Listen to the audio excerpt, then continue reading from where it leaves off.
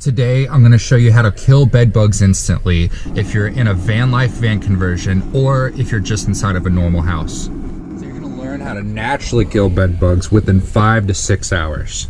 So I'm Ryan Bell and this is my 2002 Ford E150 that I'm gonna be living in for the next two years until I buy my future sailboat. So I personally started getting bitten after I got bed bugs in my van from the Marriott hotel that I was working at. One of the rooms probably like had a traveler that brought the bed bug in on his like suitcase or something. But this had been like the most annoying problem I've ever had to deal with in this van.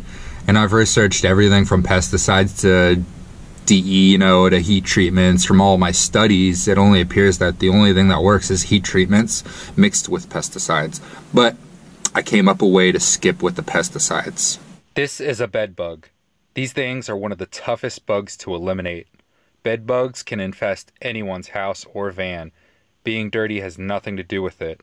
Bed bugs are amazing hitchhikers, and they latch onto your clothing while you're around them, and they hold on for the ride back to where you sleep. Then they hide and set up camp in your home. You are almost 100% sure to get bed bugs at least once in your lifetime. Like I said, they are tough to get rid of. Some people have them for years. Others might not even know they have them because they might not even react to the chemicals they shoot into you while you're sleeping. Don't worry though, no one has ever gotten a disease from these little pests. Chemical pesticides have been shown not to work for bed bugs, except on contact.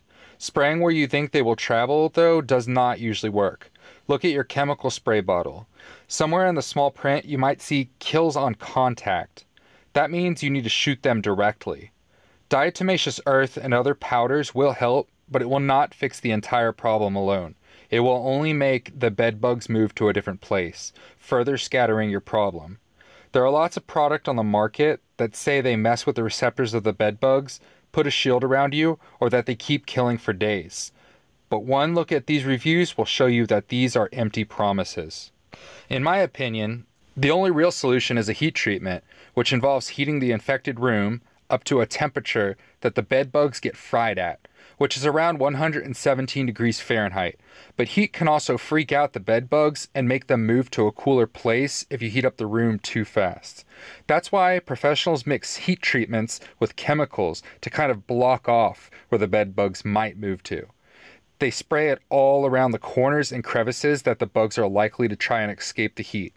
Professionally, heat treatments can cost well over $1,000, and if they don't work, you're out of luck with that lost money. I didn't want to lose money, so I sat around and thought, how could I do the heat treatment myself? And it turns out you can get everything you need at Home Depot or Lowe's. If you have a small enough van, even without a small van, or you might be in a house too, I'll cover it all for you guys, and it'll only cost you around $20 to $250 total from these places, depending on how you go about it. Work smart, guys. Let's get started. So since we're on a van that can fit into a garage, the heat treatment can be administered inside the garage, which will affect the entire van. Now, if your van is too big, or if you have a house, you know, you can stick around for the end of the video. I'll give you some more options since I was back visiting my parents, getting ready to slow travel through Florida and probably be gone for the next two years, I really wanted the bugs out of my van. I didn't want them biting me this entire time. For this heat treatment, you are going to need a propane tank and a forced air propane space heater from Home Depot or Lowe's. If you already have both of these, it'll only cost you $20 to exchange your propane tank for a new one. First, move your van into the garage and remove any combustibles that might be in the garage or inside of your van. So you want to have your fire extinguishers handy when you're monitoring the room. Place a CO detector anywhere in the room. CO is lighter than air, but it disperses evenly throughout so it'll work wherever you put it. Next, move all your bedding around so the heat is quick to penetrate.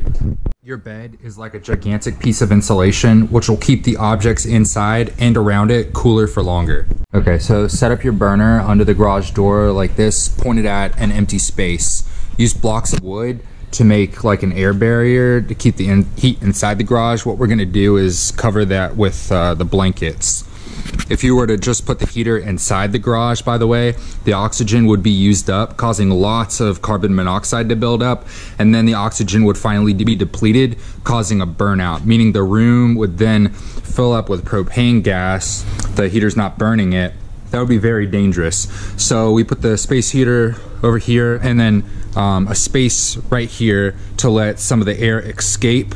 So then um, we have an airflow. The air is going in here and part of the air is coming out here. Um, with the airflow, it allows new oxygen to come in. Make sure you have the hose tightened into your propane bottle and also for your propane heater. So you want to disconnect the garage and then let it drop down onto the berry that we made.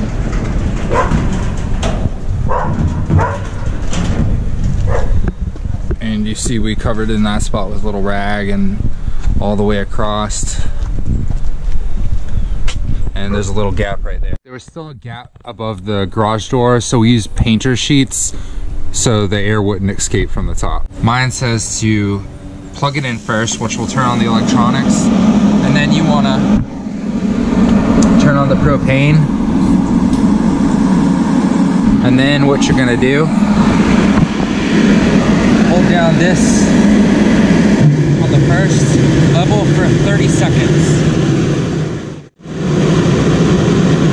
Now it's all the way on. So I'm gonna put it up to two and then to three. So now it's all the way up. You can see what I was doing right there. I'm gonna move the propane away a little bit. In the comments below, tell me how you got rid of your bug problem in your van, whether it be bed bugs or anything. So here, we're actually heating it up now. The burner is on right here, and we have this fan, which uh, the, the air from that is coming over here and into the fan and going in here, uh, which will heat up that quicker as well. Temperatures will actually be hotter on the ceiling, of course, than on the floor. So what you want to do is wait until at least the floor of the van, or the bugs probably might be, you want to wait until that's at least 117. But wait, you should maybe wait up for an hour before you turn off the burner uh, once it's at that temperature, just to make sure that all the bugs are gone. So I put a thermometer right there and down on the ground right here, you can't see it. And then there's one up inside the electronics.